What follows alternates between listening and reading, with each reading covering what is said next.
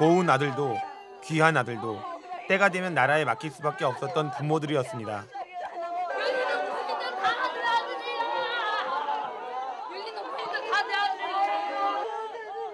그것을 피해갈 별다른 방법도 또 특별한 수단도 없었던 부모들이었습니다. 살았다면 지방과 또 나라의 힘이 되었을 아들들입니다. 그러나 국민의 의무라서 입대했던 아들은 의무이기에 보낼 수밖에 없었던 부모의 곁으로 돌아오지 않았습니다. 그런데 우리 안에 좀 특별한 부모들은 이곳에서 아들의 군 문제를 간단히 해결해 왔습니다. 국적 이탈 신고서만 내면 끝이었습니다. 내 아들은 국어대나 군대 안 보내야 되겠다. 그 사람 사람. 막 처음에 와서부터 병력 문제부터 물어봐요. 다시 체력 문제는 둘째치고. 때문에. 근데 여기 실제 당사자들은 군대 안 가려고 하진 않아요. 또. 부모들이 안 보내요. 어떤 때는 얄미울 정도예요. 제가 보면. 그리고 우리나라에 지식층에 있는 사람일수록 더더욱 그렇습니다. PD수첩은 지난 1980년부터 최근까지 국적을 이탈한 6,457명의 명단을 확보, 분석했습니다. 그 결과를 통해 지난 26년간의 국적 이탈 역사를 가늠해 볼 수 있었습니다. 가장 눈에 띄인 것은 1998년의 상황. 국적 이탈자의 수가 기하급수적으로 늘기 시작했습니다. 특히 만 17세 남자는 전체 이탈자의 절반이 넘었습니다. 1998년 새로운 국적법이 공포되었습니다. 만 18세 이상의 남성은 군 문제를 해결해야만 한국 국적을 이탈할 수 있게 된 것입니다. 국내 유력 일간지 모 이사의 아들은 만 18세를 한 달 앞두고 한국 국적을 이탈했습니다. 국적법이라는 홍대표 의원이 낸 그런 아이디어들은 정말 이 나라를 망치려고 작심한 법이라고 봐. 군대 보내라고 해놓고 말이야. 그 애들 제 목숨 책임도 못 지는 그런 이 나라에 그 뭐야 그, 그, 그, 그런 이런 사고 나는 군대 지자식 보내라고 지금 법으로 에, 지금 규정하는 나라에 누가 누가 그런 나라의 그 어? 자식들을 믿고 군대를 보내겠느냐 말이에요. 장군 출신의 전 내무부 장관 오치성 씨의 두 손자도 만 17세 되던 해 국적을 이탈했습니다. PD 수첩에서 하는데요. 예, 군대를 가야 되잖아요. 대한민국 국민으로서. 대한민국의 국민이면 가고 미국이 국민이면 안 가는데 안 가는 거지 어떡하나 할아버지는 명문사립대의 전직 총장이고 아버지는 그 대학 의과대학 교수인 이모군도 국적을 이탈했습니다. 역시 만 17세 때였습니다. 국가가 앞으로 발전할 거고 잘 될 거라는 믿음이 확신이 있고 뭐 그런 그런 상황이라 그러면은 아 과연 군대 그 문제 때문에 아 국적을 포기할 것이냐 아 좀 그렇게 생각을 안 하거든요. 삼선의 중진 정의화 의원의 아들 역시 국적을 이탈한 뒤 현재는 미국 유학 중입니다. 지금 대학 다니고 있는데 그러면 그런 것 때문에 억지로 그러면 그 중간에 그 저 군대를 저, 저 뭐야 학, 학을 포기하고 군에 가야 된다? 근데 의원님 저기. 한국에 있는 대학생들이요 어. 공부를 아무리 잘해도요 어. 다 중간에 군대 가거든요. 중간에 가는 사람도 있고 졸업하고 예. 가는 사람도 있고 대학원 예. 가는 사람도 있고 GP 사고로 세상을 떠난 사병들 모두 대학생들이었습니다. 가난한 형편에 보탬이 되겠다고 휴학을 하고 야간 아르바이트를 하다 입대했습니다.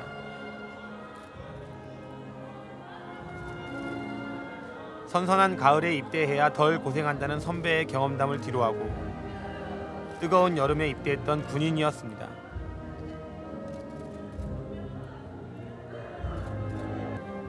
체격이 좋아 전방으로 차출될지 모르니 부실한 척 하라는 제대한 친구의 말도 귀담아 듣지 않고 입대한 군인이었습니다. 합법적으로 아들과 손자를 군대에 보내지 않아도 되었던 이 나라의 고위층들. 왜 이 청년들만 국방의 의무를 지다 이렇게 죽어야 했는지 답할 수 없을 것입니다. PD수첩은 지난해 11월 국적법이 발의된 이후 올 5월까지 국적을 이탈한 사람들이 누구의 자손인지 두 차례 방송했습니다. 오늘은 그 세 번째 시간으로 국적 포기 26년의 역사를 밝혀보려고 합니다. 저희가 이번에 새롭게 확보한 80년대부터 2004년까지 총 4,500여 명의 국적 포기자 명단은 한마디로 화려합니다. 유신 정권부터 560 그리고 현재에 이르기까지 대한민국을 주름잡아 왔던 고위층들 심지어 전직 대통령 집안의 자손까지 포함되어 있었습니다. 민선 도지사까지 지낸 전직 부총리를 찾아가 봤습니다. 아마 한국 사람 다도 그 양만 하는 사람. 아, 내가 알긴 그래. 그렇게 양만 할 사람이 아니야. 국적 포기자도 많다고 그런 뉴스 보실 때는 어떠셨어요? 제가 싫다는 데가 돈 내라 없었나? 그냥 사는 안 그래? 그러면 집에 들어오지 여기 한국에 들어오지도 못하겠네. 근데 최 부총리님 손자는 그럴 리가 없다고 생각하시는 거군요. 다도 그 사람은 그 저기 치약 사람 양말이 아니야. 절대 그럴 리 없다는 경비원의 말은 사실일까? 이곳에 최갑규 전 부총리가 살고 있습니다. 3공화국 경제기획원 장관, 6공화국 경제부총리, 초대 민선 강원도지사를 역임했습니다. 예리한 판단력으로 별명이 면도칼이었다는 그는 손자 문제와 선을 그었습니다. 그 입장을 좀 어이구 나그 얘기할 거 없어. 아뭐 애들 일인데 내가 뭐냐. 내가 그 얘기할 수. 손자 일까지 내가 얘기할 거 없어. 고등학교를 마치고 올해 미국의 한 대학에 입학했다는 손자는 이미 3년 전 국적을 이탈했습니다. 최 부총리께서는 전혀 관여하지 왜 관여하지 않았어? 내가 뭐 애들이 내 때문에 어 누구 말 따라 바로 내 사회적 그런 지위 때문에 고민을 하더라고. 그래서 내 때문에 고민할 건 없다. 나는 이제 완전히 은퇴라고 내가 조용히 쉬고 있으니까 내 때문에 고민할 건 없단 말이야. 최갑규 전 부총리의 손자가 미국 시민권을 택했던 날 또한 거물급 정치인의 손자도 국적을 이탈했습니다.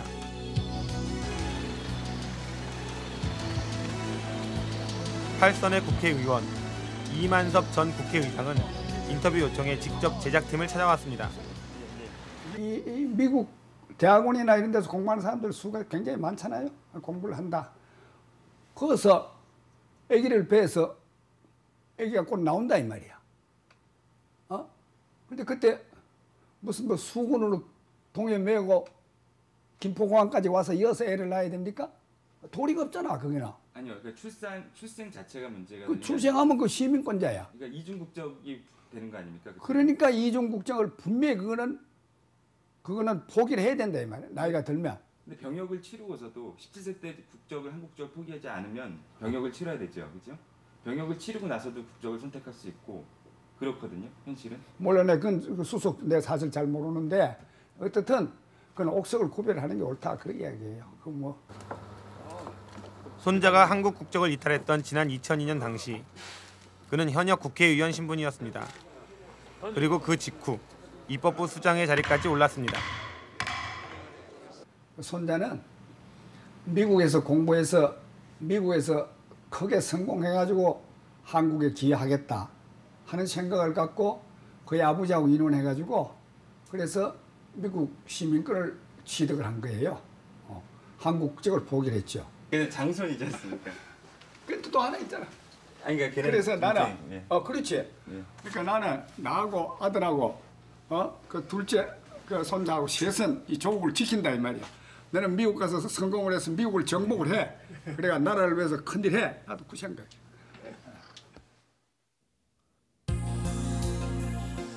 국적을 이탈할 당시 미성년자였던 이들의 호주의 직업을 분석한 결과입니다. 정계, 재계, 학계 등에 종사하는 이들이 다수에 이릅니다. 그 가운데 최고위층으로 분류할 만한 인물들입니다. 방공이 국시였던 유신 정권, 김종필 전 국무총리를 비롯한 내각 중추들의 자손들이 국적 포기를 했습니다.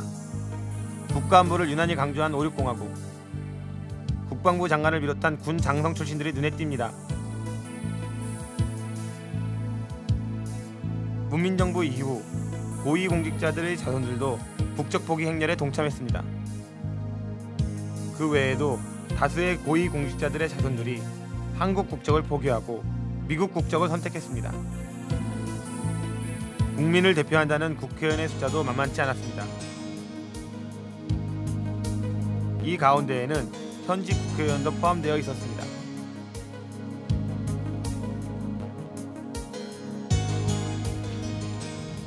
국회 외교통상위원회 소속의 정의화 의원의 아들은 2001년 국적을 이탈했습니다. 미국에서는 미국 법이 어떻게 되냐면 외국 군대에 이 그 들어가면 자동 미국 국적을 상실당하게 돼 있다고요. 신청하고 자식을 떠나서 내가 알 때는 그렇게 돼 있다고. 그러니까 어쨌든 얘가 양자 택일을 해야 되는 거야. 그 아니, 시점에서. 근데 미국은요 이중국적 자체를 인정하는 나라이기 때문에 그 한국군에 간다는 것 자체가 문제가 되진 않아요. 예. 그렇다면 아무 문제될 것이 없지. 근데 선택을 하셨어요. 아 그러니까 그 내가 갖고 있는 나 이런 참. 이제 중학교 때부터 이제 거의 미국에 자유롭게 살다가 이 군대라는 자체에 대해서 두려움을 갖고 있는 거예요. 아직도 내가 보니까. 정 의원 아들은 17세 되전에 국적 이탈 신고를 했지만 법무부가 병역 문제를 이유로 받아들이지 않았다고 합니다. 결국 3년에 걸친 소송 끝에 승소, 2001년 국적을 이탈했습니다. 국회의원이니까 아들을 또 훌륭하게 키워서 조국을 위해서 더 좋은 일을 하게끔 좀 공부시켜야 된다고 판단할 수도 있지. 국적 이탈자의 명단에선 전직 대통령 집안의 손자도 확인할 수 있었습니다. 전두환 전 대통령의 친형 전기환 씨의 손자입니다. 2001년 전기환 씨의 맞손자가 국적을 이탈했습니다. 어떤 연예에서 이렇게 국적 포기를 하셨는지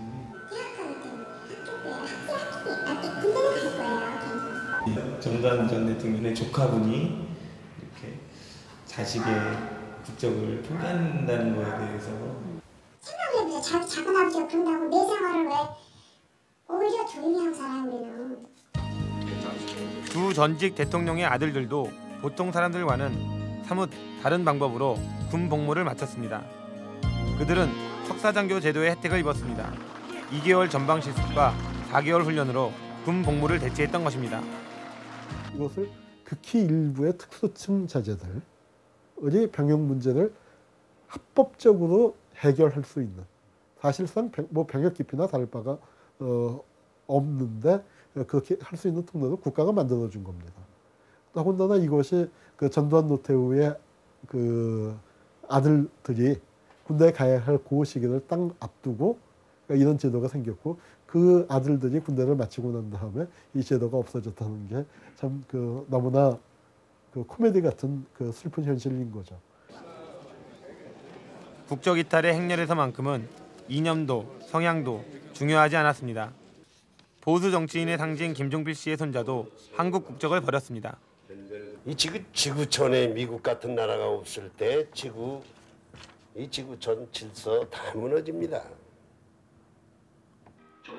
미국의 국민이 된 그의 손자 역시 한국 국적 이탈을 통해 합법적으로 국방의 의무를 비켜갈 수 있었습니다. 민주도 없어요. 툭하면 민주화 운운 하는데 나라 지킨 그런 우리 영령들이 있기 때문에 그 위에서 민주화니 뭐니 할 수 있는 거예요. 뭐 본인이 뭐 군대 측에서 국가에 대해서 안보라든가 이런 건 적부이라도 강조하지만 그 손자들 개까지 그걸 그 강요할 수 없는 거 아닙니까? 대표적인 보수 월간지의 한 간부의 아들도 일찌감치 국적을 포기하고 미국 유학길에 올랐습니다. 분명히 말씀드리겠는데 말이죠. 전화해서 중학교 4학년 마치고 보낸 이유가 간단합니다. 우리나라 교육이 시스템이 지금 뭐 공교육 파괴라는 걸다 알고 있지 않습니까? 그죠? 뭐 증여적 문제도 있고 좀 그런 걸 보기 싫어가지고 보낸 이유도 있습니다. 솔직히 말해가지고 이 국가 문제, 그 하여튼 병력 문제 이런 거 다 떠나가지고 건실한 그 민주시민으로 잘 어렵다고 판단하에 지금 보낸 겁니다. 미국으로. 명예를 목숨처럼 여긴다는 군인의 집안에서도 더구나 장성 출신 그 별들의 후손도 이탈자 명단에 포함되어 있었습니다. 국정일이 아닌데도 태극기가 펄럭이고 있는 이곳은 육사 8기 출신 오치성 전 내무부 장관의 자택입니다. 손자 두 분이 국적을 포기했잖아요. 그 장관님 혼자 설명하니 열명 포기하면 어떠나? 이제는 옛날과 다른 거예요. 자기도 하는 거 어떻게? 그 병, 그러니까 국정 포기에서도 와서 병역 자기도 학습자 사이 마음대로 하셔. 오치성이 아니 하면 난말 그래. 미국에서 태어나서 미국 국적 가지고 있었지. 근데 연령이 되니까 18살 때 어떡하냐? 아마 대학에 진학 학비 문제 이제 그때는 그냥 자기들이 알아서 그렇게 했지. 국적 이탈자 대부분은 학비 때문에 미국 시민권을 택했다고 주장합니다. 그러나 사실이 아닙니다. 미국에선 이중 국적과 상관없이 시민권만 있으면 학비 혜택을 받습니다. 한국 국적을 이탈할 필요가 없는 것입니다. Well, we don't differentiate between Korean Americans and any other kind of American. The kind of services we give to Americans are more or less what they would get from their government any place. 국적 이탈자의 명단에서 낯익은 이름을 또 발견할 수 있었습니다. 윤필용 장군. 648기 출신 5.16 구테타의 주역이자 한땐 정치 군인들의 집단인 하나회의 대부로 군림했던 그의 손자도 5년 전 국적을 이탈했습니다. 모르겠어. 뭐 그 공부하려고 그러겠지. 뭐그그 이상은 모르겠어 내가. 포- 포기하는 게 좋은지 안 하는 게 좋은지 모르겠어. 지금 세상이 이렇게 좁아졌는데 하면 어떻고 안 하면 어때? 한마디만 해 이야기할게 요즘 그 뭐야 저 뭐 수류탄 그 미치는 그 인마 왜 모다들 그, 그 위문가로 왜가 단순 사고인데 미치는 저지르는 사고인데 내가 오늘 그 점심 먹으면서 그 흥분했어 그러니까 전에 자네들하고 나하고 달라 이야기가.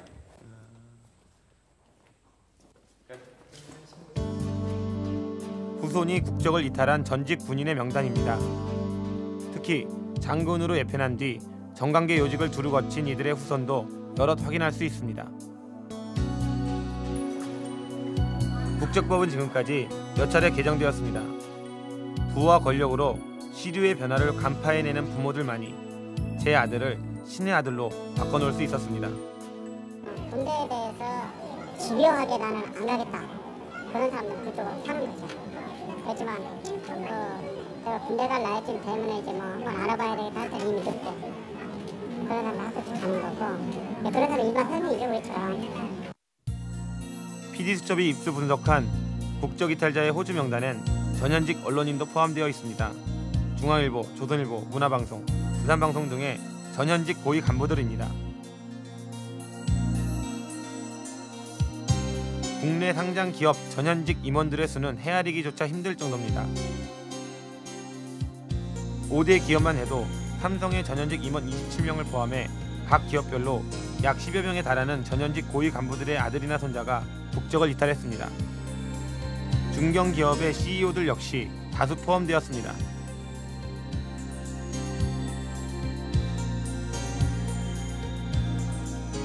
국내 최대 경제단체 현직 간부의 아들도 국적을 이탈, 미국 유학 중입니다.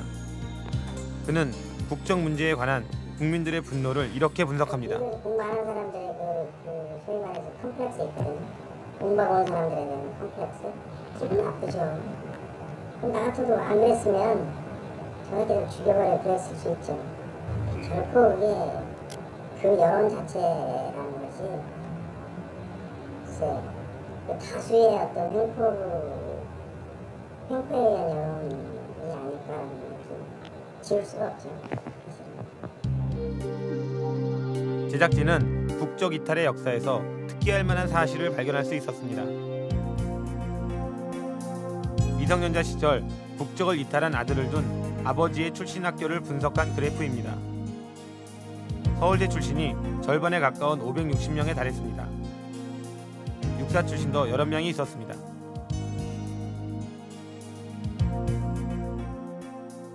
공부도 많이 하시고 또 서울대학까지 나오시고 이런 분들한테는 어, 좀 더 많은 사회적 책임을 이렇게 요구하지 않습니까 사회에서?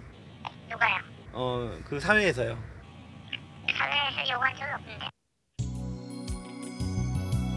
제작진이 분석한 국적 이탈자 호주의 직업 중 단연 1위는 바로 학계입니다. 국공립대 교수 255명을 포함 사립대 교수 544명, 전체 799명의 교수들의 아들이 만 17세 이전에 국적을 이탈했습니다. 대부분 부모가 미국 유학 중 출생한 아들들이었고 또 그들 대부분은 부모들처럼 현재 미국 유학 중입니다.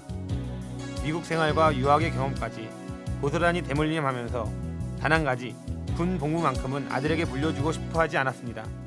나라를 위해서 공사한 사람한테는 3년이란 시간적인 손해뿐만이 아니라 3년을 다시 리바이벌하기 위해서 6년을 더 소비해야 된다라는 겁니다. 역대 각 정부의 요직에 교수들이 등용되었습니다. 교수들은 대학과 공직 사회를 넘나들며 전천후 역할을 담당했습니다.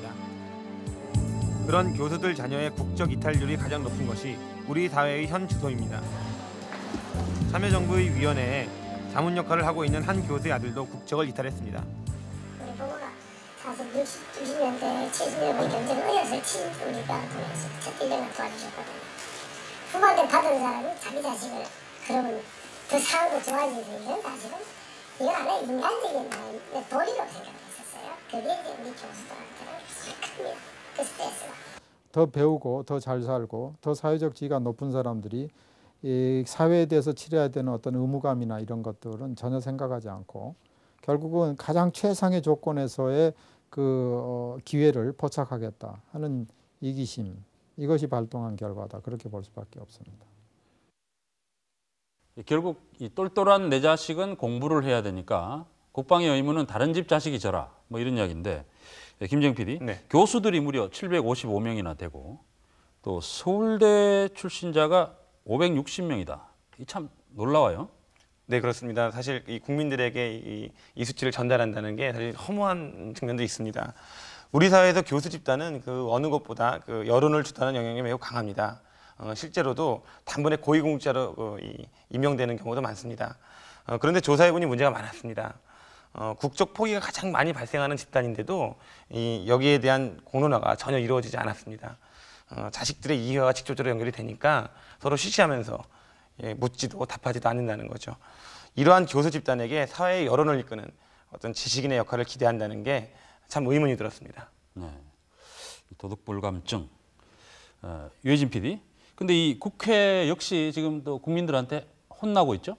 예, 그렇습니다. 네. 새로운 국적법의 후속 법안이라는 재외동포법 개정안이 국회에서 부결되었기 때문인데요. 병역 면탈을 목적으로 한국 국적을 포기한 이들이 국내에서 누리는 특혜에 가까운 권리는 국민들이 납득하기 어려운 수준이었습니다. 국적을 이탈하고 미국 국민이 되어 한국 국방의 의무를 면제받은 아이들. 그 부모들은 자녀가 결코 한국에 안 돌아올 것이라고 주장합니다.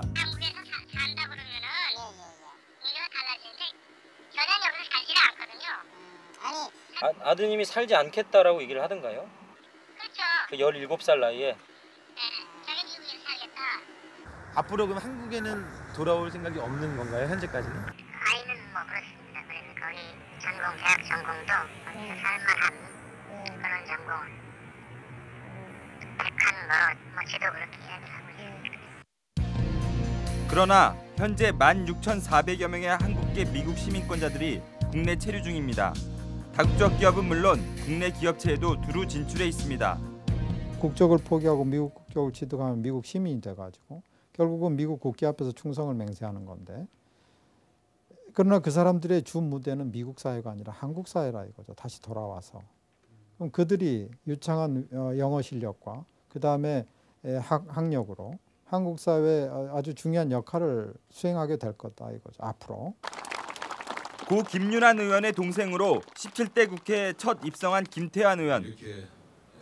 김 의원의 장남은 미국 체류 중 징병 검사를 연기하다 시민권을 얻어 국적을 상실했습니다. 현재 모 기업 한국 지사장으로 근무 중입니다. BMW를 타고 다니는데 꼭 차가 오면 저 위에서 오고 저 위에 올라오고 집에 간다고 돈은 한국에서 벌어먹고 외국 기업은 똑똑히 잘나서 김 의원 장남의 국적 문제와 관련 인터뷰를 요청했습니다. 나가면요. 결국 우리가 법적으로 가만히 있을 수 없어요. 우리 의사 없이 많이 붙인다면 그도 반대 가만히 있을 것 않을 것이고 네. 법적으로 대응 우리가 이런 걸 많이 해봤지 않습니까? 괜히 오버를 하지 마시라니까. 국적을 이탈한 뒤에도 국내에 머물며 활동하는 한국계 시민권자들은 미국의 보호 아래 있습니다. 시민권자면 여기서 뭐 범죄 걸리고 그러면은 미국 그 어, 미래서관에 딱 와요 감옥에 그래서 자기들이 도와주려고 하고 그런 거 보호되지 특히 유사시를 대비해 미국 대사관은 특별한 안전 대책도 마련해 놓았다고 합니다.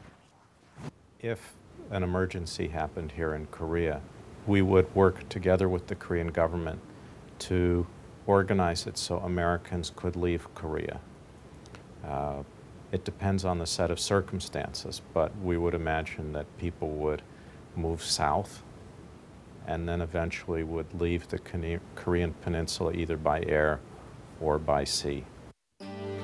판문점 도끼 사건 당시 전쟁 위기가 느껴지자 용산 미군 기지로 모여든 미국 시민권자의 절반은 검은 머리의 한국인이었다고 합니다. We try to keep track of where Americans live. We ask them to register with us so that if something happens, we know how to contact them. 지난 1년간 한국 국적을 포기한 17세 이하의 남자는 1,821명입니다. 반면 미국 시민권을 포기한 17세 이하의 남자는 단 한 명도 없습니다. 우리 사회에서 미국 시민권은 여전히 행운의 열쇠입니다. 대학 특례 입학을 위해선 고등학교 과정 중 2년 이상을 부모와 함께 외국에 체류해야 합니다. 그러나 그 기준에 미달해도 특별한 입학의 길은 열려 있습니다. 연대, 연대를 저희들이 넣을 수가 있고요. 그러니까 특례는 특기자죠, 특례가 아니라. 기자는 뭐 영어 기자. 네, 상암대, 성균관대.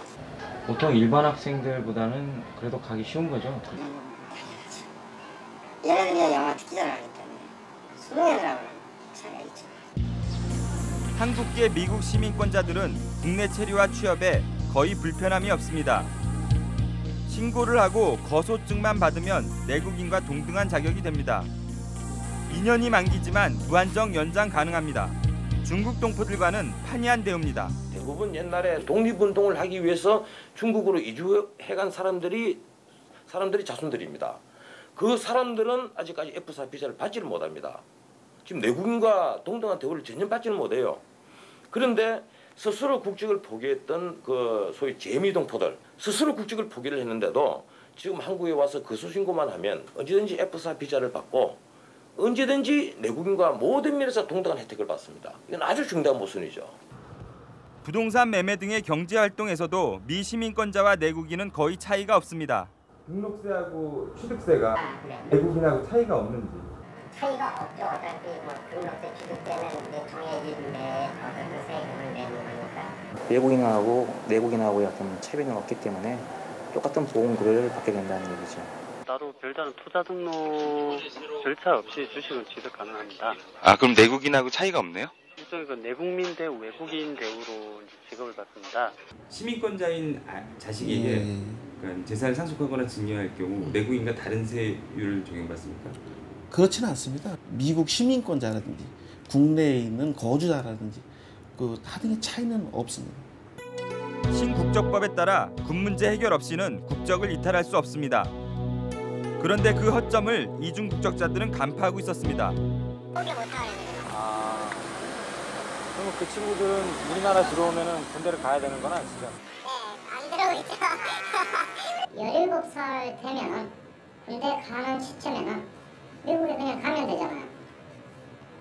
미국에 가면은 못 막잖아요. 그죠? 그럼 미국에 가서 한국에 안 들어오면 그만이고 병역을 미필한 이중 국적자에겐 국내 6개월 이상 체류 시 군 입대 영장이 발부됩니다. 문제는 이중 국적자의 귀국 여부가 파악되지 않는다는 데 있습니다. 한국과 미국 두 종류의 여권을 활용하며 감시를 피해간다는 것입니다. 마이클 노라고 이렇게 바꾸잖아. 그러면 미국 여권은 마이클 노로 돼 있고 그러면 한국 들어올 때는 미국 여권 사용하면은 몰라요. 병무청에 직접 확인한 결과도 마찬가지였습니다. 대개 그런 사람들은 예. 그걸 가지고 미국 신분으로 출입국을 하기 때문에 예. 저희들이 알 수가 없죠. 아, 그 이중 국 적자가 그러니까 그렇죠. 한국 여권으로 안 들어오고 미국 그렇죠. 여권으로 들어오면 알 수가 없는 그렇죠. 거니까. 저희들이 전혀 알 수가 없죠. 이런 허점들 때문인지 한 이민법 전문 변호사는 국적으로 고민하는 의뢰인들에게 단언했다고 합니다. 자주 바뀌니까 제가 포기하지 말라고 했어요. 하도 많이 바뀌니까 6월 29일 재외동포법 개정안이 국회 본회의에 상정되었습니다. 석 232인 중 찬성 104인, 반대 60인, 기권 68인으로서 부결되었음을 선포합니다. 법안에 대한 이해 부족과 아, 그리고 아, 일부 의원들이 반발이 있는 것 같습니다. 네티즌의 분노가 폭발했습니다. 집권 여당과 개정안을 발의해놓고도 반대표를 던진 의원들의 사이트엔 비난의 글이 폭주했습니다. 나는 자기가 발의한 법안을 반대하기가 기권하는 얘는 내 15대부터 봐도 내 처음 봤어요. 왜 그런 짓을 했는지 의원들한테 어, 기자들한테 안 물어보라고 했습니다. 재외동포법 개정안이 부결된 다음 날 의원회관은 내내 이 문제로 술렁이고 있었습니다. 공동 발의자였음에도 불구하고 반대표를 던졌다가 국민들의 거센 비난에 곤혹을 치르고 있는 한 의원입니다. 오늘 아침 방송에서 그랬다는데 동료 의원들 뭐 기란하고 그랬다고 그러는데 국회의원 뭐 수업에 따라서 개인적으로 그, 그따 지금 안 돼. 이 새끼가 말이야. 자기가 그렇게 이렇게 해서 각박을 팩스를 보내서 반대하고 얘기해달라고 해서 그 받은 사람은 연락을 했잖아 말이야. 그죠? 못하겠다고. 어, 나도 그랬을 거야. 이 말이야. 법안에 반대하면 통보해달라는 팩스를 못 받다는 것. 국적법에 대한 국민들의 폭발적인 관심에 국회의원들은 무관심했습니다. 어제 좀 솔직히 사전에 우리가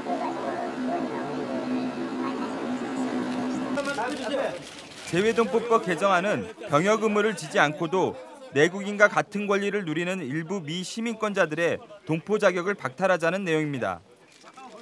유승준 파동 이후 법무부 시행령으로 정해졌지만 실제 동포 자격이 박탈된 예는 거의 없습니다. 병무를 목적으로 멘탈을 목적으로 해서 국적 이탈을 했는지 안 했는지 본인이 의사를 나타내기도 없고 그렇죠. 예, 그러니까 전혀 우리가 그 심사를 하지 않고 있습니다. 반대 취지로 기권한 임종석 의원은 위헌 소지를 지적했습니다. 정말 이걸 벌하려면 그 선택을 한 그 일탈한 부모를 벌여야 한다는 게 우리 생각이에요. 그 잘못된 선택, 그 빗나간 선택, 자식에 대한 어긋난 애정, 이 선택은 부모가 했거든요. 근데 이 부모에게 불이익을 주는 것이 아니라 불이익은 고스란히 아이들에게 돌아가고 있어요. 부모가 선택을 해가지고서 국적 포기를 했다. 그럼 본인이 나중에 군대 갈 나이가 돼가지고서 본인이 국적 회복해가지고 군대 가겠다 하면 그걸 누가 뭐라고 그러겠습니까? 문제는 결국은 본인까지도 병역 기피를 위해 가지고 그 상태를 유지하려고 하는데 문제가 있는 것이지. 자기가 군대 가고 그럼으로써 이제 제외동포로서 아니 아니면 아예 대한민국 국민으로서의 직위를 갖다가 헌정하겠다 그럼 그게 왜 문제가 되겠습니까? 국적법 후속 법안조차 제때 제대로 만들지 못하는 정치권을 둔 국민들은 GP 사고가 나고 이후 각종 군 문제들이 불거져 나왔지만 그래도 묵묵히 아들을 군에 보냅니다.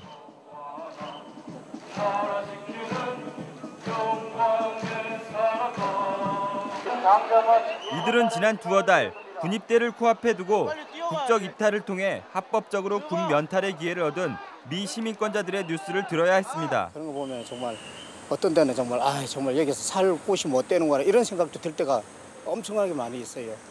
그 오늘 또 제가 제 자식 보고 참 더 용감하다. 아빠보다 더 용감한 것 같아. 내가 오늘 그랬어요. 좀 기특하더라고요.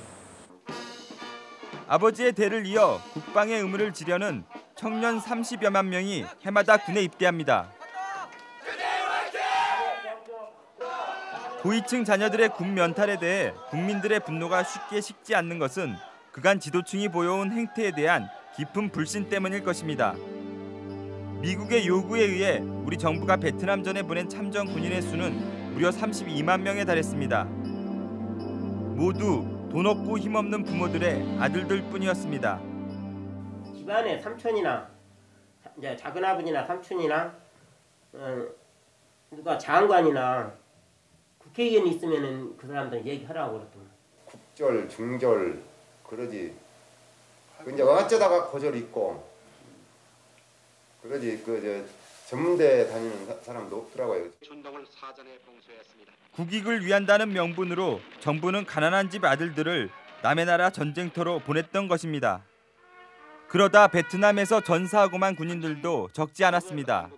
월남에서 우리가 전사한 병사들이 4,960명, 약 5천 명이 전사했거든요. 그 중에 장군 아들, 장관 아들, 국회의원 아들, 판검사 아들, 기업체 중견 무슨 회사 사장 아들, 아니면 뭐 대기업의 임원 아들 없어요. 한 사람도 없습니다. 이 땅에서 벌어진 전쟁에서조차 고위층의 행태는 베트남 전과 다를 바가 없었습니다. 미 8군 사령했던 벤포티트 장군 같은 사람은 자기 아들이 6.25 전쟁에 공군 대위로 참전해서 여기서 전사를 했습니다. 그런가 하면 그 당시에 에, 에, 아이젠하워 대통령 당선자는 육군 소령으로서 그 아들이 한국 전쟁에서 참전을 했습니다. 그런데 그 당시에 한국 우리 나라의 어떤 정치적으로나 경제적으로 어의 어떤 부와 그 명예를 가지고 있던 사람들의 자제들이 6.25 전쟁 때에 전사했느냐고 하는 그 자료를 찾아보기는 대단히 힘들다는 겁니다. 영국 사회의 명문가와 고위층에겐 특별한 전통이 내려져 오고 있습니다. 전쟁과 같은 위기 시 누구보다 먼저 가장 위험한 지역, 가장 위험한 인물을 자임하며 달려간다는 것입니다. 영국 상류층 자녀들만 입학할 수 있다는 이튼 칼리지 학생들이 1, 2차 세계대전에 대거 참전, 2천여 명이 전사했습니다. 전쟁 역사 전문가인 풋 박사 역시 영국 최고의 명문 옥스퍼드 재학 당시 2차 세계 대전에 참전했습니다.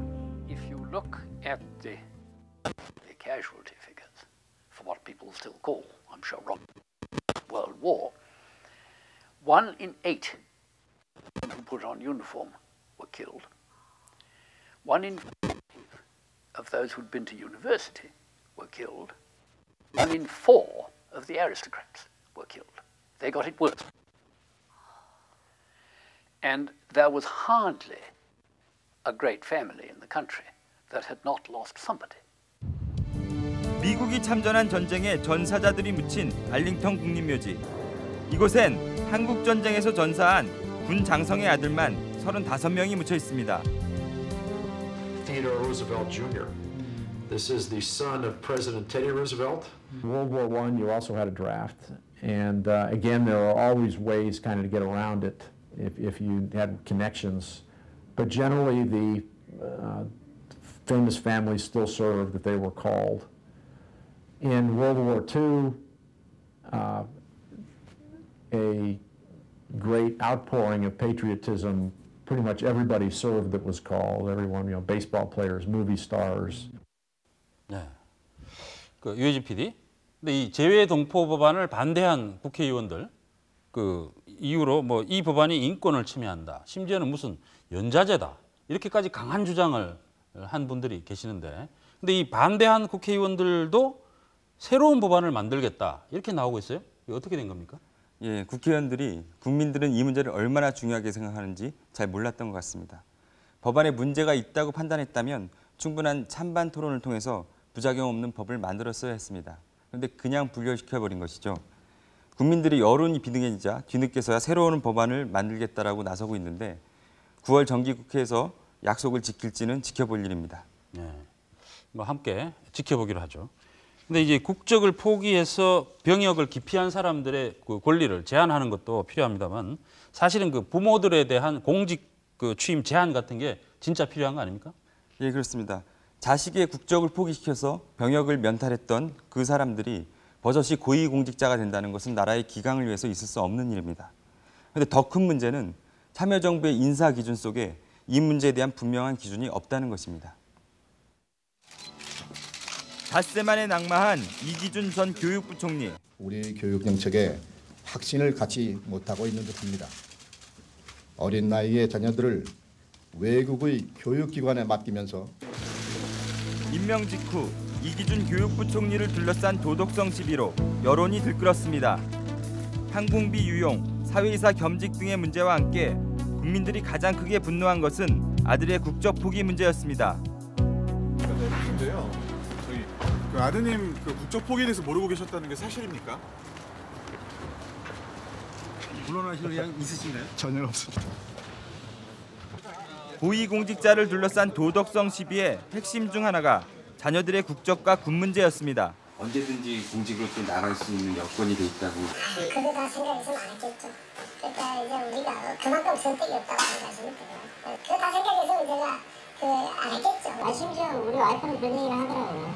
나중에 그게 문제가 될 수도 있으니까 그거 저기 한국 들어가지고 군대 보내야 되는 게 아니라 이런 얘기를 하는데 괜찮다. 난, 난 절반할 사람도 아니고 내가 무슨 우리나라 대통령 사람도 아니고 국적 이탈로 자녀의 교육과 군 문제를 해결한 이들은 공직에 나가지 않겠다고 선언합니다. 이 나라 이상한 지식인들의 초상입니다. 심지어 고위공직자가 되면 아들을 군에 보내겠다고 하는 이들도 있었습니다. 나중에 이제 내가 뭐 공직에 들어가면 예, 그렇죠. 그때 뭐 군인 군을 자원해서 뭐 간다든가 이런 방법밖에는 뭐 방법이 없는 거 아니야?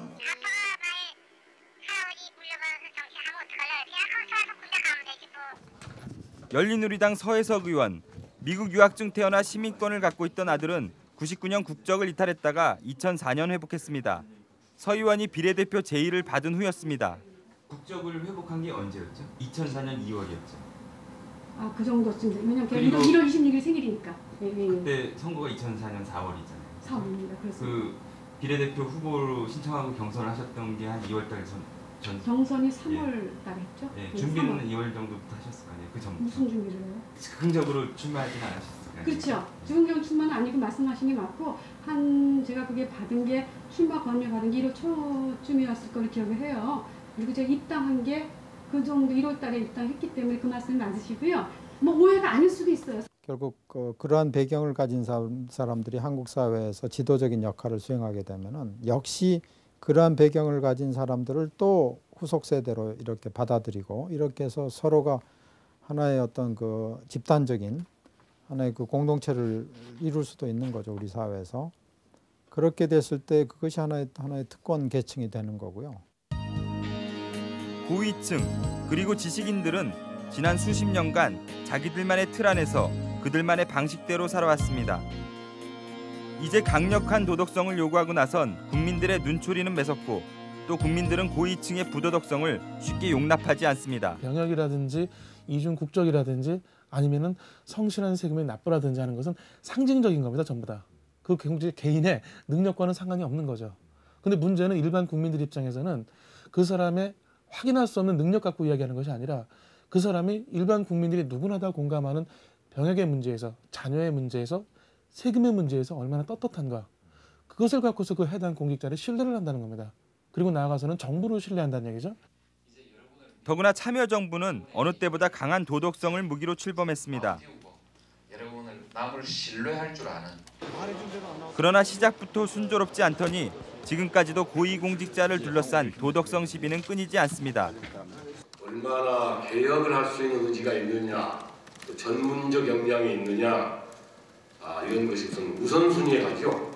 그때 이제 또 그런 박주현 전 수석은 참여정부의 공직자 인사가 도덕성에 둔감하다고 지적합니다. 사실 우리 사회에서 좀 주류였던 분들, 기득권이었던 분들, 사회적으로 많이 출세를 하셨던 분들이 사실은 뭐 그런 병역 회피나 국적 포기 이런 거와 굉장히 연관이 돼 있기 때문에 어, 그런 경각심을 갖지 않으면 자칫 이제 뭐 좀 세계화 물결하고 이렇게 좀 혼돈이 돼서 어, 뭐 국적 뭐 이거는 좀 이제 뛰어넘어야 되는 게 아니냐 이렇게 좀 일반화될 그 우려 소지가 항상 있었다고 생각해요.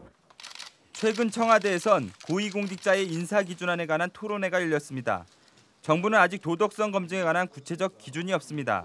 고위층 자녀의 국적과 병역 문제에 관한 내용은 얼마나 논의되었을까? 특별하게 그 문제를 가지고 다루지는 않, 않았지만 뭐 국민 정서가 그렇다면 그것도 어, 어떤 도덕적인 자격 기준으로 포괄적인 기준 속에 포함될 수 있지 않나 이렇게 싶습니다. 그 문제에 대해서는 특별하게 다루지 않았습니다.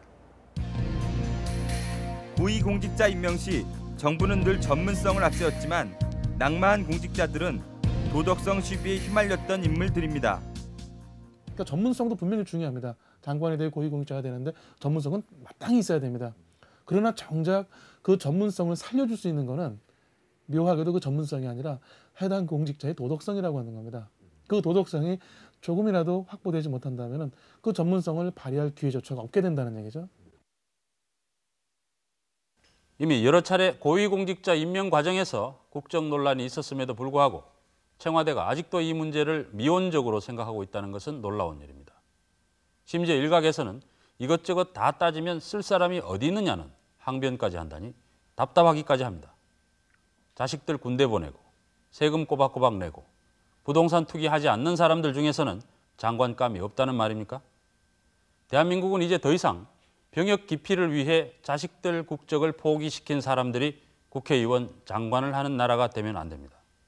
온 국민이 정부를 신뢰하고 함께 새로운 나라를 만들어갈 희망과 꿈을 갖도록 하기 위해서라도 무자격자들을 엄밀하게 골라내는 시스템과 기준을 만들어야 할 때입니다.